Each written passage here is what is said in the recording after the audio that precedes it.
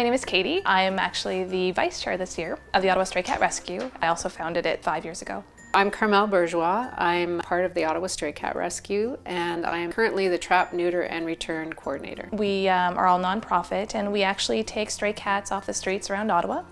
We find them homes and then we actually work with a lot of the feral cats doing trap neuter return, which is TNR, because there are a lot of uh, different feral cats and we would find that there were colonies around Ottawa that were like 5 to 30 or more cats and we really wanted to do something about the overpopulation issues. The feral cats are trapped, they're spayed or neutered and then they're returned back to their colony when safe to do so. TNR is necessary because there's so many stray cats, some of them dumped, some of them owned, and some of them born in the wild. And TNR helps control the population of community cats. By returning them back, they won't procreate. There'll be less kittens, there'll be less fighting, it reduces disease. We find we've actually succeeded in limiting a lot of the colonies based on spaying and neutering.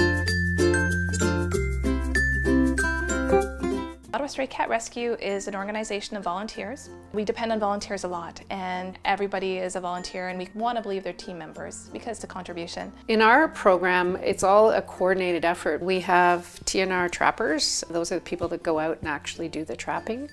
We have foster homes. We have drivers that take the cats to and from the foster homes or to and from the vet appointments. We have coordination, somebody that coordinates all that. We have a vet liaison who takes care of arranging the vet appointments and letting the other team members know when there are appointments. So it's all very much a team effort to pull off a TNR day. Last year we had approximately between 80 and 100 and all those cats were various colonies throughout Ottawa and some outside of the city.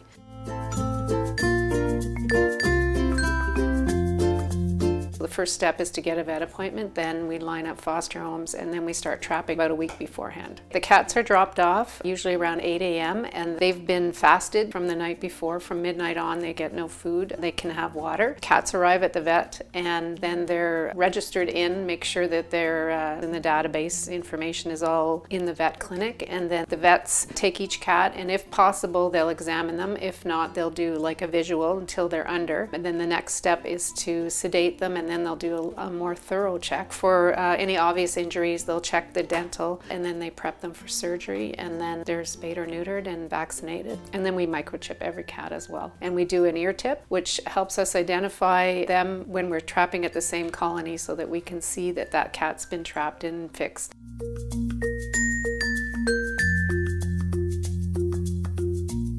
Since 2011, we've brought into care around 2,800 cats um, and found homes for them. So that's 2,800 adoptions and 2,800 cats not having babies. That to us is huge, certainly based on a group of volunteers.